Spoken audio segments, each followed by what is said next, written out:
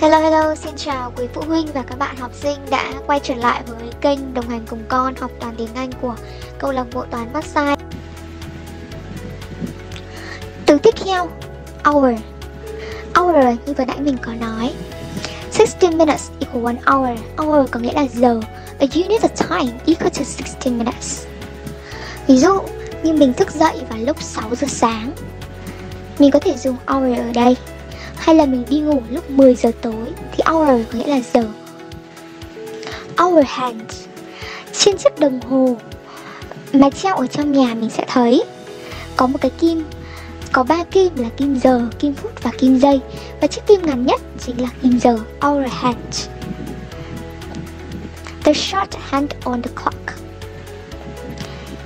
Từ tiếp theo iterate iterate iterate iterate có nghĩa là gì? Mình thấy ở đây mình có một chiếc bút chì. Và trên chiếc bút chì này, mình đã dùng những chiếc kẹp giấy nhỏ. Và mình thấy là chiều dài của chiếc bút chì này bằng 4 chiếc kẹp giấy, Bằng chiều dài của 4 chiếc kẹp giấy. Và mình lặp lại các chiếc kẹp giấy này. Iterate The repeat to do again and again, to make repeated use of mathematical procedure và từ iterate, đây có nghĩa là lặp lại. Mình lặp lại bốn chiếc kẹp giấy này để mình đo được chiều dài của chiếc bút chì. Length. The how long something is, the distance from one point to another. Mình thấy trên đây là hình ảnh của một chuột sâu đo. Và độ dài của chú ý là một inch. Length và để đo được chiều dài thì mình sẽ dùng thước. Length ở đây là chiều dài độ dài. Less than. À ngược nghĩa về greater than là less than. 3 is less than 5 Less than có nghĩa là nhỏ hơn, bé hơn. Lighter. Ngược nghĩa với heavier là lighter. Mũi tên đang chỉ vào chú sóc Và mình thấy chú sóc ở đây là nhẹ hơn so với chú gấu. Lighter, nhẹ hơn. Longer. Mình, ở đây mình thấy có hai chú chuột. Chú chuột thứ hai. Mình thấy có chiếc đuôi dài hơn. Vậy thì longer có nghĩa là dài hơn. The word used when comparing the length of two objects. Khi mình muốn so sánh chiều dài, thì mình có thể dùng từ longer là dài hơn. Và ở đây có điều có từ 3 chú chuột trở lên, hoặc có từ 3 đồ vật trở lên, thì mình có thể dùng so sánh hơn nhất. Và mình thấy chú chuột thứ ba có chiếc đuôi dài nhất, và mình sẽ dùng từ longest. The word used when ordering three or more objects by length. Dài nhất. Longest. Nhớ, mình chỉ dùng được longest khi có từ 3 đồ vật trở lên. Ở phần này Chúng mình sẽ tiếp tục học các từ vựng toàn tiếng Anh. Có chữ cái đầu tiên là M. Making ten. Thế nào được gọi là making ten? Nine plus one makes ten.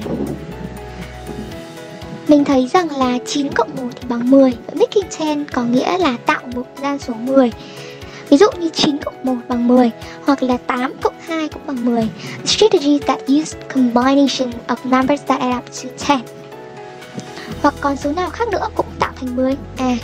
Có thể là 5 cộng 5 um, có thể là 4 cộng 6 vân vân. Multiple of 10 thế nào được gọi là multiple of 10 10, 20, 30, 40, 50, 60 and so on. The multiples of 10 ends in zero when written, written in base 10 Đây đều là các số có tận cùng là 0 Và các số này đều là các số tròn trục multiple of 10 là bội của 10. Number A number indicates how many or how much the number of objects can be named by the numerical 3. Number, ở đây là số.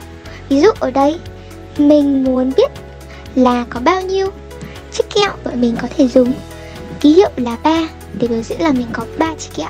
There are three candies. Numeral Number a symbol used to represent a number là ký hiệu để mình biểu diễn con số. Ví dụ, ngoài cách viết là 6, mình có thể đọc, mình có thể viết là 6 hoặc mình có thể dùng ký hiệu dùng các gạch sọc như thế này. Mình thấy có 6 gạch sọc tất cả hoặc mình có thể dùng số La Mã. Tất cả những cách này đều biểu diễn cho một lượng là 6. Number One force. One force có nghĩa là gì? Ở đây mình thấy mình có hình vuông được chia làm 4 phần bằng nhau và phần được tô màu xanh. Ở đây là 1 phần tư. One fourth gọi là 1 phần tư. One half. One half là một nửa, một phần hai. Once. Ở đây mình thấy mình có one two three, four, five, six, seven, eight eight ones. A single unit or objects. Once vậy là mình hay còn được hiểu là hàng đơn vị. Ví dụ trong cấu tạo số thì once có nghĩa là đang nói về hàng đơn vị. Một từ khác mình có thể dùng là units. Once or units. Từ tiếp theo. Plus value. Ví dụ mình nhìn số 13 ở số 13 mình thấy số 1 số 3 ở đây đều có giá trị khác nhau số 1 ở đây có nghĩa là một chục one time và số 3 ở đây có nghĩa là 3 ones, 3 đơn vị. Hoặc nếu mình có số 33, mình sử dụng hai chữ số 3 tuy nhiên 3 ở hàng chục thì có giá trị là 30, nhưng 3 ở hàng đơn vị thì chỉ có giá trị là 3. The value a digit has because of its place in num a number face value là giá trị hàng. Và dựa vào đó mình sẽ biết được giá trị của một chữ số. Ví dụ một ở đây có nghĩa là một. One ten one ten có nghĩa là một chục. Là 10 và three ones có nghĩa là ba. Quarter of. Quarter bằng nghĩa với one fourth là một phần tư của cái gì đó. Quarter circle. Vậy thì mình có thể đoán được nghĩa của quarter circle là một phần tư của hình tròn rectangle thế nào được gọi là rectangle a plain figure with four sides.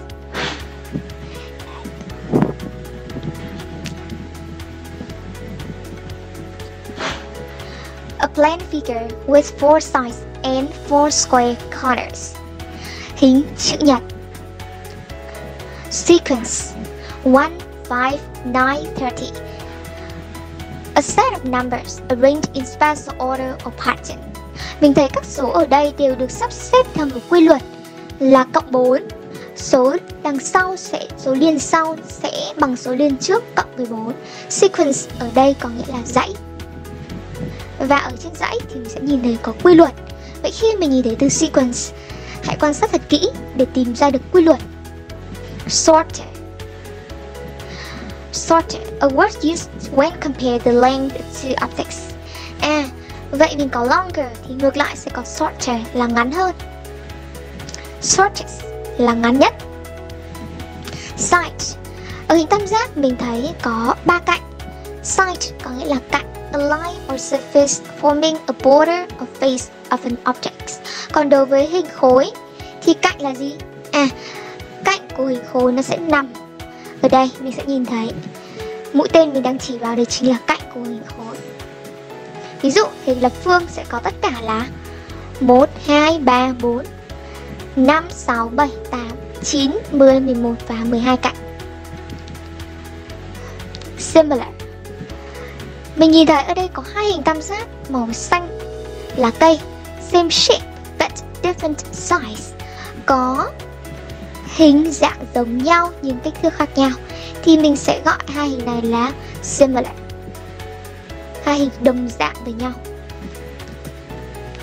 Sort Sort Cùng nghĩa với classify là phân loại. Ở đây mình có các hình và mình phân loại thành hai nhóm. Một bên là các hình ngôi sao và một bên là các hình tròn. Sort Sphere. Đây là hình ảnh của sphere ở trong cuộc sống. Và đây là một hình đã được mô phỏng trong toán học Sphere A geometric solid with a curved surface Hình cầu Từ tiếp theo square. Đây là một hình đặc biệt có bốn cạnh bằng nhau và có bốn góc vuông. A figure with four sides that are the same length and four right angles. Có bốn cạnh bằng nhau và có bốn góc vuông. Right angles là góc vuông, hình vuông. Subtract. 5 minus 2 equals 3. Subtract ở đây là 2D Take away, remove or compare. Nếu mình nhìn thấy chữ take away or remove thì mình hãy nghĩ đến các tính trừ nữa nhé. Sum, sum, sum. 5 is sum of 3 and 2. Sum, sum ở đây có nghĩa là tổng. Nhớ nhé. Taller, tall, taller. À, taller có nghĩa là cao hơn. Tallest ở đây mình có ba nhân vật và người bố cao nhất thì sẽ gọi là tallest cao nhất. Tens seven tens bảy chục. Tens ở đây có nghĩa là chục. Three dimensional mình nhìn thấy tất cả các hình ở đây đều có chung một tính chất. A solid shape that has length, width and height. Đây là hình ba chiều, có chiều dài, chiều rộng và chiều cao. Triangle. A figure with three straight sides, hình tam giác. Two dimensional. Tất cả các hình này đều có điểm chung là lying on the plane flat Hình hai chiều Còn gọi là hình phẳng có chiều dài và chiều rộng. Vertex A corner of the figure. Vertices are two or more corners of figure. Vertex là một đỉnh. Ví dụ hình tam giác thì sẽ có ba đỉnh. Vậy mình sẽ nói là vertex, three vertices. À, mình sẽ nói là three vertices. Vertex là số ít và vertices là số nhiều. Nếu mình nói một đỉnh thì mình nói là vertex one vertex. Nhưng nếu mình muốn nói là hai đỉnh, ba đỉnh thì mình phải nói là three vertices. Four vertices. Còn đối với hình lập phương thì mình có bao nhiêu đỉnh? Chúng mình hãy cùng suy nghĩ nhé. Which? Which a measure of how heavy something is? Cân nặng. Và mình có thể dùng chiếc cân này. Có hai, ở đây có hai hình ảnh. Một là hình ảnh cân có hai bên thăng bằng. Và thứ hai là cân điện tử mình hoàn toàn có thể dùng. Ví dụ mình muốn đo cân nặng của mình thì mình có thể dùng những những cái dụng cụ như thế này which là cân nặng. Whole numbers. Whole numbers. Whole numbers are zero and the code counting numbers. 1, 2, 3, 4, 5 and so on. Whole number sẽ bao gồm từ số 0 số 1, số 2 vân vân và các số đếm khác.